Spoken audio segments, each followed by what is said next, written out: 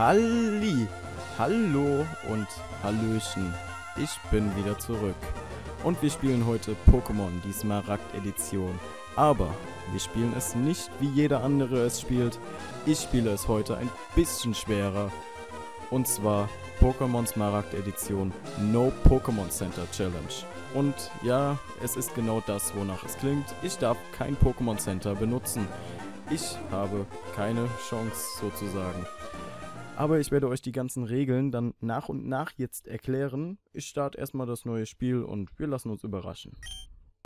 Und wer bist du? Na, mal schauen. Wer sind wir denn? Bist du ein Junge oder bist du ein Mädchen? Äh, Junge. Gut. Junge. Die Fahrt im Umzugwagen zwischen all unseren Sachen war bestimmt ermüdend. Ja, du hast mich ja auch nicht auf dem Beifahrersitz gelassen. Bitch. Nun, wir sind in Wurzelheim. Wie gefällt es dir? Dies ist unser neues Zuhause. Ist das idyllisch? Man kann hier sicher wunderbar leben. Meinst du nicht? Und du bekommst dein eigenes Zimmer. Whitey, lass uns hineingehen. Normalerweise musste ich nämlich mein ganzes Leben, mein Zimmer und mein Bett mit meiner Mutter teilen. Vati hat ihr eine neue Uhr zur Begrüßung geschenkt. Vergiss nicht, sie einzustellen. Die Uhr ist stehen geblieben. Wow, neu und direkt stehen geblieben. So muss es laufen. Oh, du solltest prüfen, ob dein Schreibtisch vollständig eingeräumt ist. Ja, Computer steht da, reicht. Als erstes werde ich einen Trank nehmen. Den werden wir nämlich brauchen, denn jetzt fange ich auch einfach mal an zu erklären. Wir haben die No Pokémon Center Challenge. Das bedeutet kein Pokémon Center.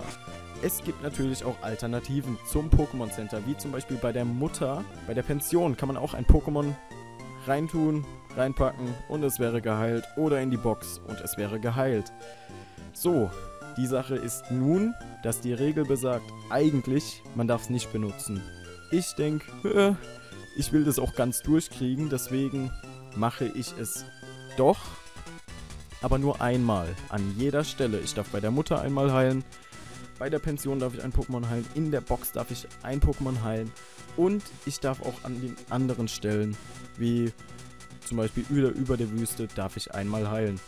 Es gibt jetzt nun eine Sache noch, die dazu zu sagen ist, von den Pokémon her.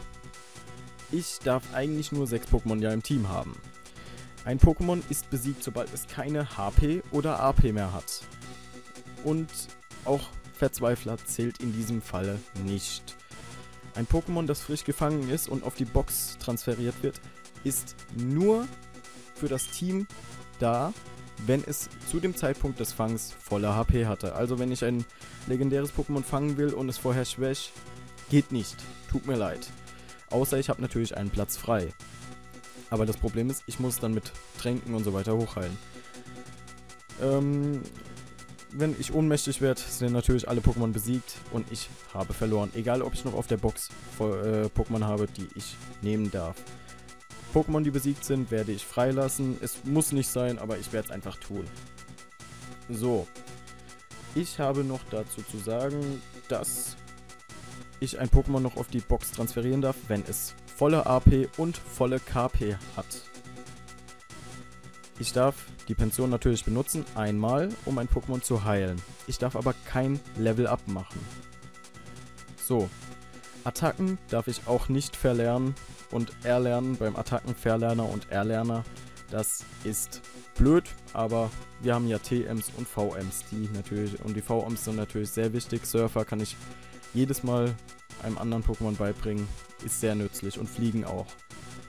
Ich habe nun noch eine extra Regel aufgestellt. Ich muss jedem Pokémon einen Spitznamen geben. Es ist keine Pflicht bei dem... Äh, also, es gibt eine Person, die hat damals die Regeln aufgestellt und ich... Wir spielen ein bisschen mit den Regeln natürlich noch rum. Und ich beende insgesamt, indem ich Steven besiegt habe. Äh, du darfst mein Pokéball nicht anfassen. Was, wer bist du denn? Ich habe gehofft, dass du nett bist. Whitey, wir Freunde werden. Ist das nicht albern? Ich, ich habe dich doch gerade erst kennengelernt.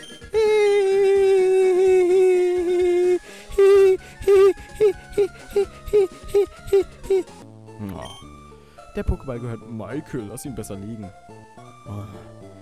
Nie darf ich von einer Frau den Ball anfassen. Hilfe! Hilfe! Äh, ah, nee, warte. Hilfe! Hilfe! Du da drüben, bitte! Hilfe! In meinem Beutel, da findest du einen Pokéball. Wir hätten hier das Küken Flemly, den Waldgecko Gekabor und den Lehmhüpfer Hydropi. Ich habe mir lange, lange Gedanken darüber gemacht, jetzt gerade eben. Und ich entscheide mich für Hydropi, den Lehmhüpfer. Und das hat einen ganz einfachen Grund. Denn Hydropi ist erstmal recht schnell zu trainieren. Also es hat viele Attacken und es geht hier auf die AP. Es kommt hier auf die AP an, nicht auf die Kampfkraft generell. Man muss jetzt einfach daran denken, okay, es geht um die Kampf, äh, es geht nicht um die Kampfkraft, es geht darum, wie viele Attacken dieses Pokémon hat. Wenn ich jetzt nur 15 mal eine Attacke hier habe, komme ich nicht weit. Oder 20 mal, keine Ahnung, wie viel Schnabel jetzt zum Beispiel von Flemly hat und sonst was. Und ich kann ja auch noch nicht mal heilen, deswegen. Ich muss da, darauf achten, dass mein Pokémon überlebt, dass es genug AP hat. Deswegen ist Hydropi mit Level 6 äh, Lehmschelle und Level 10 Aquaknarre sehr, sehr gut. Dazu erlernt es, glaube ich, auf Level, Level, Level, Level, Level, Level 16 lernt es Lehmschuss und auf Level 15 lernt es Geduld. Das bedeutet, es hat sehr viele, sehr, sehr viele AP, wodurch ich halt dann es leichter trainieren kann. Ja, wir wollen Hydropi einen Spitznamen geben. Ja, das passt. Warumpel. Wir sprechen hier mal an. Kommst du bitte einmal mit mir? Yep, kommen wir.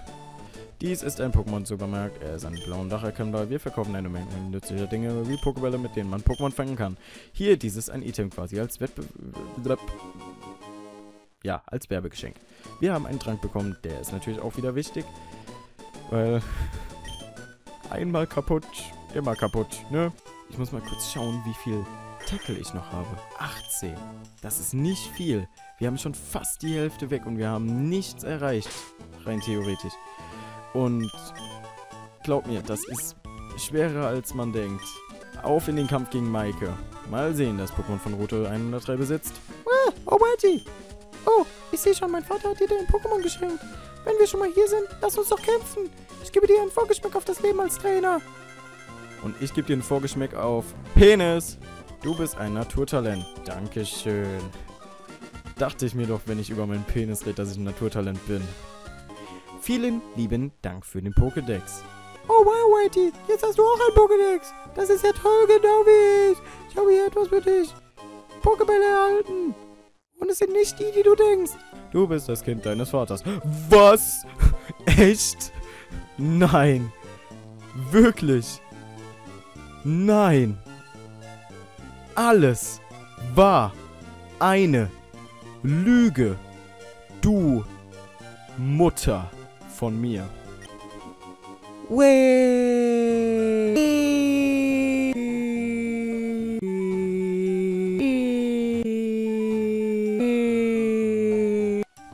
fangen ein Motherfucking Pokémon. Und zwar Waupel. Nein, kein Waupel. Waupel. Wow, was eine Überraschung. Waupel. Ein Zickzack. Gut, endlich mal was Gescheites. Und Pokéball, los! Los, los, los! Glaubt daran, es wird, es wird, es...